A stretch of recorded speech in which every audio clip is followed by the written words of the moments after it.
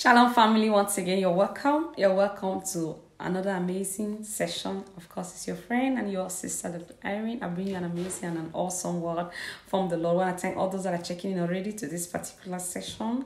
And to you, probably it's your first time to click on my video. Special thank you to you. Special welcome to you. Not for subscribe, like, share.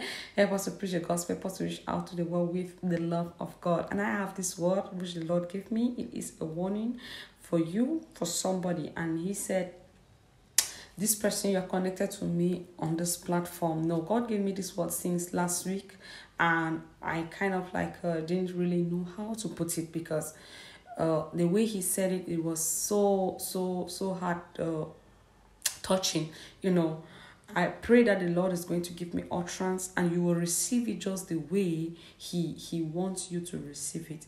But the Lord says, I should tell you this that you are running late. You need to know this right now that you are running late. Now, this word concerns somebody. He showed me the picture clearly.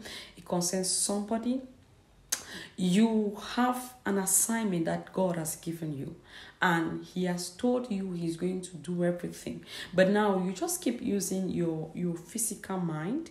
You just keep using your your looking at your environment, what you can be able to do right now, and you concluding on it. You're like, well, I don't have this. I don't have this. I don't know how to do this. I don't know how to do this. But this is a project. You know it. You are convinced within your heart that it's God that is assigning you to do this particular project. But you just keep complaining, you just keep procrastinating. The Lord says, I should tell you this. He says, you are running late. No, the Bible says about Jesus in the book of Luke, chapter 2, from verse number 41. Although he was just a little boy, but at the age of 12, he began going to the temple. He began ministering in the temple. He began teaching in the temple. Why? Because he knew his assignment. He knew what God sent him to come and do, and he stuck to it. Now, what is happening to you is you keep looking ahead.